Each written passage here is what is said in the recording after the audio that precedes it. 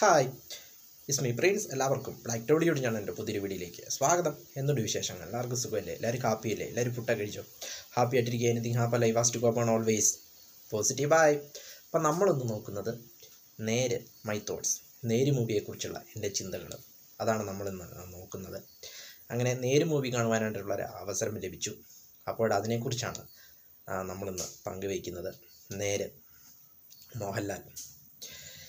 ലാലേട്ടന്റെ comeback movie അപ്പോൾ കഴിഞ്ഞ കുറേ കാലങ്ങളായി പരാജയങ്ങൾ നേരിട്ടുകൊണ്ടിരിക്കുകയായിരുന്നു അദ്ദേഹം. അദ്ദേഹത്തിന്റെ സിനിമകൾ തുടർച്ചയായിട്ട് തിയേറ്ററുകളിൽ പരാജയപ്പെടുന്നതാണ് നമ്മൾ കണ്ടിരുന്നത്.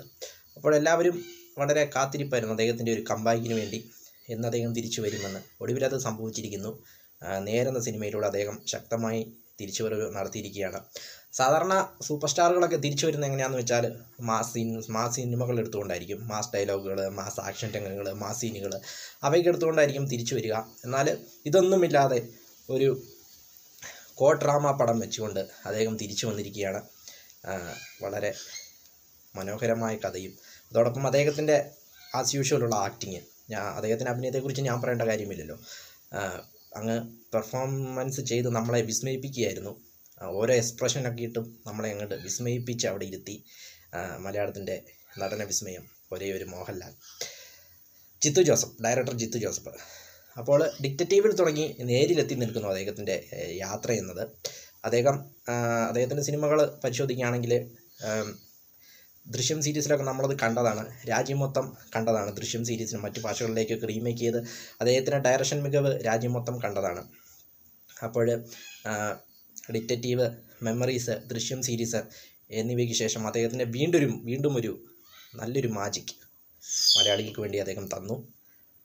അപ്പോൾ മറ്റ് ക്യാരക്ടേഴ്സ് നോക്കുമ്പോൾ സിദ്ദിഖ് ആയിക്കോട്ടെ ജഗദീഷ് ആയിക്കോട്ടെ അനശ്വരി ആയിക്കോട്ടെ എല്ലാവരും തങ്ങളുടെ റോളുകൾ വളരെ ഭംഗിയായിട്ട് നിർവഹിച്ചു എന്ന് പറയാം. അതിൽ അനശ്വരയുടെ കാര്യം എടുത്തു പറയേണ്ടതാണ്. കാരണം അനുശ്വര രാജന്റെ കരിയറിലെ ഏറ്റവും ബെസ്റ്റ് പെർഫോമൻസ് അതും ലാലേട്ടന്റെ മുന്നിൽ നിന്നും അഭിനയിച്ച് തകർക്കുകയായിരുന്നു അഭിനയിച്ച് ജീവിക്കുകയായിരുന്നു എന്ന് പറയാം. One of the best performance in career കരിയറിലെ ഏറ്റവും മികച്ച പെർഫോമൻസ് ആയിരുന്നു അനശ്വര രാജിന്. ജഗദീഷേട്ടൻ ജഗദീഷേട്ടനെ കുറിച്ച് പറയുമ്പോൾ അദ്ദേഹം സമീപകാലമായി നമ്മളെ ഇങ്ങനെ വിസ്മയിപ്പിച്ചുകൊണ്ടിരിക്കുകയാണ് ഓരോരോ വ്യത്യസ്ത ക്യാരക്ടറുകൾ ചെയ്തുകൊണ്ട് നമ്മളെ ഇങ്ങനെ വിസ്മയിപ്പിച്ചുകൊണ്ടിരിക്കുന്നു. ജഗദീശേട്ടൻ സിദ്ദിഖിക്ക സിദ്ദിഖിക്കയുടെ കാര്യം പറയേണ്ട ആവശ്യമില്ല. അദ്ദേഹം ഏത് സിനിമയിലാണെങ്കിലും അദ്ദേഹത്തിന് ലഭിച്ച റോൾ അദ്ദേഹം വളരെ ഭംഗിയായിട്ട് നിർവഹിക്കും. ഇതൊരു നെഗറ്റീവ് ക്യാരക്ടർ ആണെങ്കിലും നമുക്ക് പോലും പല സമയത്തും സിദ്ദിഖിക്കയോട് ദേഷ്യം തോന്നുന്ന രീതിയിലുള്ള ഡയലോഗുകൾ അല്ലെങ്കിൽ അങ്ങനെ ഒരു ക്യാരക്ടറൈസേഷനാണ് നമുക്ക് പോലും ദേഷ്യം തോന്നുന്നുണ്ട്. അങ്ങനെ ഒരു ക്യാരക്ടറൈസേഷൻ അദ്ദേഹം അദ്ദേഹത്തിന്റെ റോൾ വളരെ ഭംഗിയായിട്ട് നിർവഹിച്ചു. വളരെ നല്ല സ്ക്രീൻ പ്ലേ വളരെ നല്ല കഥ വളരെ നല്ല തിരക്കഥ. ഒരു കോട്ട് കോടതിയിൽ നടക്കുന്ന ഒരു ഡ്രാമ അതുകൊണ്ട് തന്നെ ഒരു സെക്കൻഡ് പോലും ലാഗടിപ്പിച്ചില്ല സിനിമ തുടങ്ങുന്നത് മുതൽ അവസാനിക്കുന്നത് വരെ ഫസ്റ്റ് ഹാഫ് ആയിക്കോട്ടെ സെക്കൻഡ് ഹാഫ് ആയിക്കോട്ടെ ഒരിടത്ത് പോലും ലാഗായിട്ട് തോന്നിയില്ല. നമ്മളെ അവിടെ പിടിച്ചിരുത്തി. സാധാരണ ഇങ്ങനത്തെ സിനിമകളൊക്കെ വളരെ പാടാണ് ജനങ്ങളെ പിടിച്ചിരുത്തുക എന്നത്. കാരണം ആക്ഷൻ രംഗങ്ങളോ മാസ് സീൻസുകളോ പാട്ടുകളോ അല്ലെ അടിപൊളി പാട്ടുകളോ ഒന്നുമില്ലാതെ ഉള്ള ഒരു അങ്ങനത്തെ സിനിമകളൊക്കെ ജനങ്ങളെ പിടിച്ചിരുത്തുക എന്ന് പറയുന്നത് വളരെ വളരെ പാടുപിടിച്ചൊരു കാര്യമാണ്. പക്ഷേ ഈ സിനിമയിൽ തുടങ്ങിയപ്പോൾ തൊട്ട് അടുത്തിൽ എന്താ സംഭവിക്കുക അടുത്ത സീനിൽ എന്താ സംഭവിക്കുക എന്നിങ്ങനെ പ്രേക്ഷകനെ അവിടെ കോരിത്തെരിപ്പിച്ചിരുത്തുകയായിരുന്നു ജിത്തു ജോസഫ്. അത് തന്നെയാണ് ജിത്തു ജോസഫിന്റെ ഡയറക്ഷൻ മികവെന്ന് പറയുന്നത്. അപ്പോൾ വളരെ ഒരു നല്ലൊരു അനുഭവമായിരുന്നു ഈ സിനിമ കണ്ടത്. കണ്ടതിന് ശേഷം തിയേറ്ററിൽ നിന്ന് ഇറങ്ങിയപ്പോൾ വളരെ സന്തോഷത്തോടു കൂടി തിരിച്ചു വരുവാനായിട്ട് സാധിച്ചു. വളരെ സന്തോഷത്തോടു കൂടി ഇറങ്ങുവാനായിട്ട് സാധിച്ചു.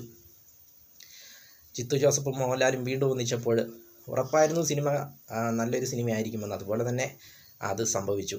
അപ്പോൾ ലാലേട്ടനെ തിരിച്ചു വരവ് ലാലേട്ടനെ തിരിച്ചു കൊണ്ടുവന്ന Jeethu Joseph thank you Jeethu Joseph and love you ലാലേട്ട. വീഡിയോ ഇഷ്ടപ്പെട്ടാൽ ലൈക്ക് ചെയ്യുക ഷെയർ ചെയ്യുക കമന്റ് ചെയ്യുക സബ്സ്ക്രൈബ് ചെയ്യുക. വീണ്ടും പുതിയ വീഡിയോ കാണാം. അതുവരിക്കും ടേക്ക് കെയർ ബൈ